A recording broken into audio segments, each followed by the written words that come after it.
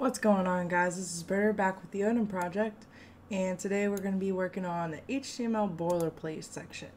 An HTML document, all HTML docu documents have the same basic structure or boilerplate that needs to be in place before anything useful can be done. In this lesson we will explore the different parts of this boilerplate and see how it all fits together. This section contains a general overview of topics that you will learn in this lesson. How to write the basic boilerplate for an HTML document, how to open HTML documents in your browser, creating an HTML file. To demonstrate an HTML boilerplate, we first need an HTML file to work with. Create a new folder on your computer and name it HTML boilerplate. Within that folder, create a new file and name it index.html. Alright, so we're going to minimize this. How do I just minimize? Okay. Create a new folder on your computer. We're going to do it in documents and HTML boilerplate. And within that folder, create a new file and name it index.html. I guess we should really be doing this um, in the command line.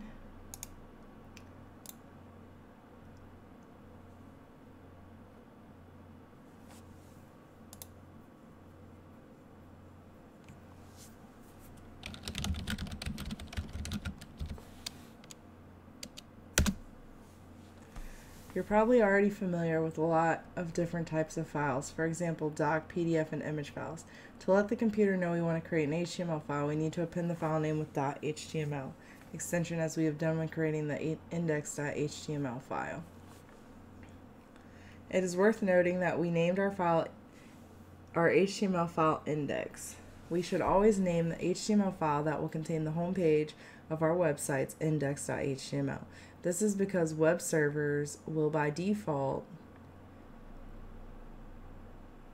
look for an index HTML page when users land on our websites, and not having one will cause big problems. The doc type. Every HTML page starts with a doc type declaration. The doc type's purpose is to tell the browser what version of HTML it should use to render the document. The latest version of HTML is HTML5, and the doc type for that version is simply doc type HTML.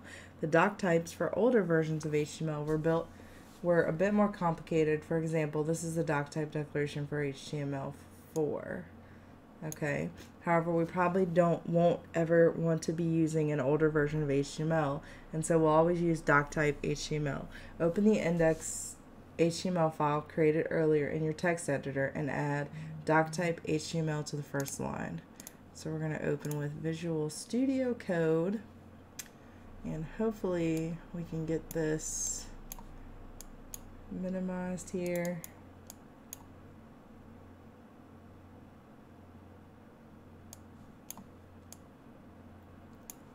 Like so.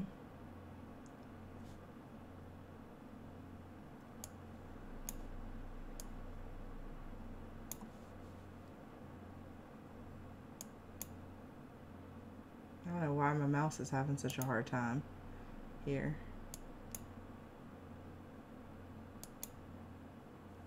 Okay.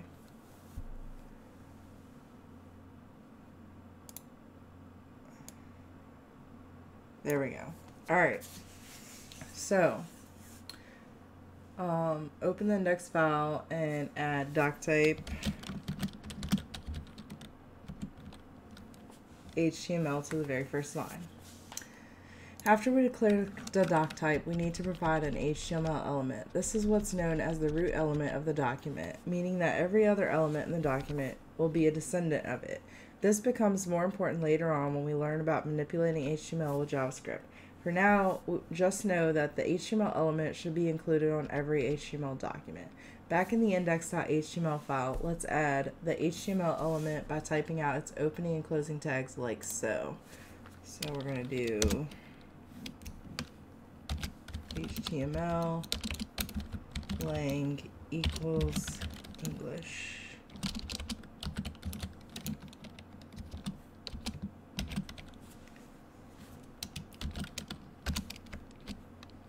Alright, and it added it for us. What is the language lang attribute? Lang specifies the language of the text content in that element.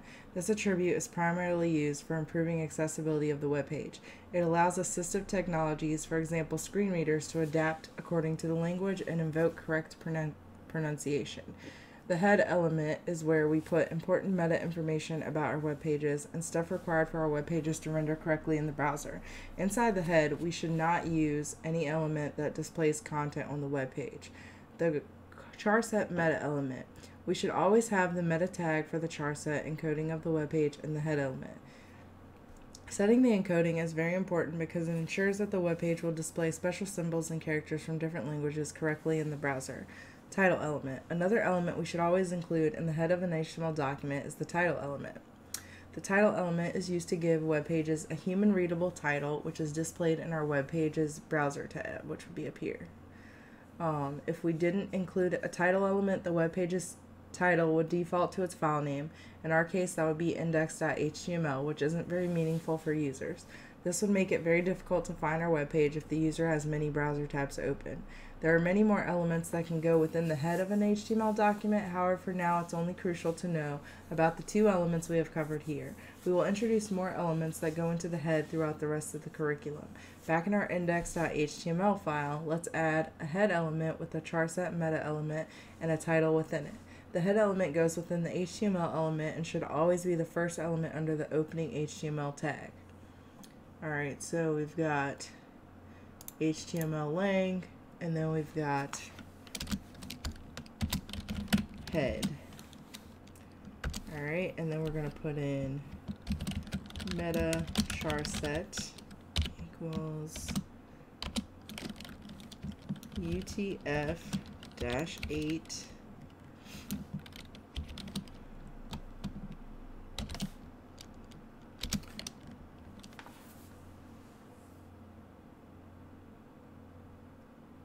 and a title within it. So now let's do title, title, my first web page. And then we got our closing head bracket and our closing HTML bracket. Body element. The final element needed to complete the HTML boilerplate is the body element. This is where all the content that will be displayed to users will go. The text images, lists, links, and so on. To complete the boilerplate, add a body element to the index file. The body element also goes within the HTML element and is always below the head element, like so. So below this, we want to do body.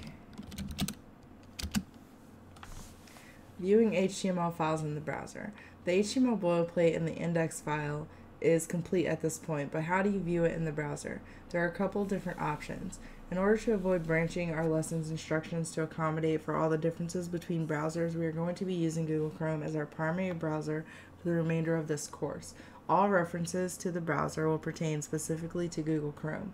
We strongly suggest that you use Google Chrome for all of your testing going forward. You can drag and drop an HTML file from your text editor into the address bar of your browser. All right, let's try to do that. Okay. Um, you can find the HTML file in your file system and then double click it. This will open the file in the default browser your system uses. You can use the terminal to open the file in your browser.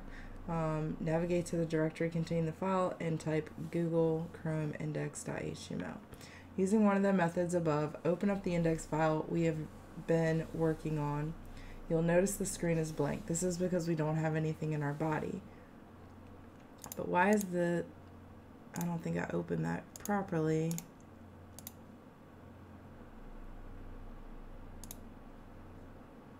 Um, where's Google Chrome? Alright, so I put the title, so like why is the title not showing up? Maybe we'll figure that out. Maybe I'm not opening it properly. Um, or maybe I need to save it. Come on, Britter. Now let's try to open it.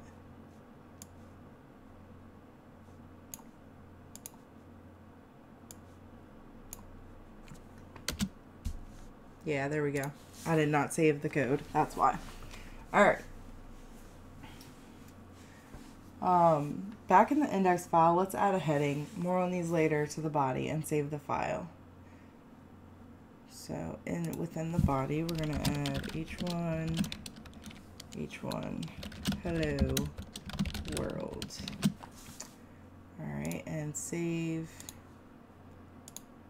and refresh. And there we go. We got hello world. Now if you refresh the page in the browser, you should see the changes take effect and the heading Hello World will be displayed. VS Code shortcut. VS Code has a built-in shortcut you can use for generating all the boilerplate in one go.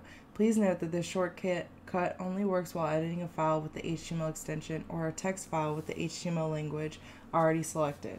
To trigger the shortcut, delete everything in the index HTML file and just enter exclamation on the first line. Delete exclamation. This will bring up a couple options. Press the enter key to choose the first one. Oh, there we go. This will bring up, uh, voila, you should have all the boilerplate populated for you. we do. But it's still good to know how to write the boilerplate yourself in case you find yourself using a text editor like Notepad, heaven forbid, which doesn't have this shortcut. Try not to use the shortcut in your first few HTML projects so you can build some muscle memory for writing the boilerplate code. Alright, so we have an assignment. Watch and follow along to Kevin Powell's brilliant Building Your First Web Page video. We're not going to do that here, but I encourage you guys to do so. And I'm going to go ahead and mark this one complete.